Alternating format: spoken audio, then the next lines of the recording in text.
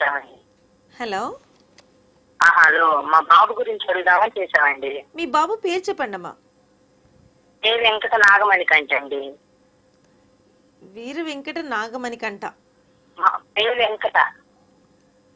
Okay అండి. Date of birth చెప్పండి. రెండు వేల పదిహేను మే ఇరవై తొమ్మిది అండి.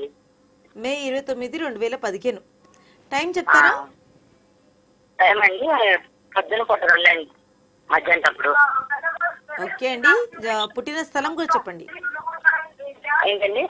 పుట్టిన స్థలం. తినాలండి. ఓకే అమ్మా. మీ అబ్బాయి సమస్య ఏంటో గురుగారికి తెలియచేయండి. బాబు చదువు గురించి కొంచెం ఉంటున్నాడండి. చదువు గురించి అమ్మా? చదవాలంటే ఏం క్లా- చదవాలంటే ఏ క్లాస్ చదువుతున్నాడు? ఇప్పుడు థర్డ్ క్లాస్ అండి. థర్డ్ క్లాస్ పిల్లాడు కదా చిన్న పిల్లాడు. మీరు పని చేయండి అమ్మా. రోజు మీ అబ్బాయిని రోజు శివాలయానికో అక్కడ రామాలయానికో రోజు సాయంత్రం పూట తీసుకెళ్ళండి స్కూల్ నుంచి వచ్చాక. సరే అండి. అక్కడ కూర్చోబెట్టి పదకొండు సార్లు హనుమాన్ చాలీసా చదివించండి గుళ్ళో. హనుమాన్ చాలీసా పదకొండు సార్లు చదివిన తర్వాత ఇంటికి తీసుకెళ్ళండి. మీ అబ్బాయి బాగా చదువుతాడు. సరే sir. Thank you so much అండి. మరి కాల్ చేసి మీ అబ్బాయి సమస్య ఏంటో చక్కటి పరిష్కారం తెలుసుకున్నారు కదా. మరి తప్పకుండా గురువారు చెప్పినట్టు చేయండి. ఖచ్చితంగా మీకు ఫలితం దొరుకుతుంది.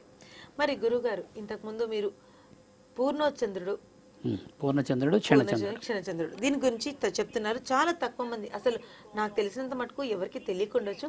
మరి వీళ్ళకి మన మనసుతోటి ఏ రిలేషన్ ఉంటుందో చెప్పండి. క్షీణచంద్రుడు పూర్ణచంద్రుడు అంటే అమావాస్య వైపు ఉన్నవాడు క్షీణచంద్రుడు. పదిహేను రోజులు ఇటు పదిహేను ఇటు పదిహేను ఉంటాయి కదా. అమావాస్య వైపు ఉన్నవాడు క్షీణచంద్రుడు అవుతాడు. పూర్ణ వైపు ఉన్నవాడు పూర్ణచంద్రుడు అవుతాడు.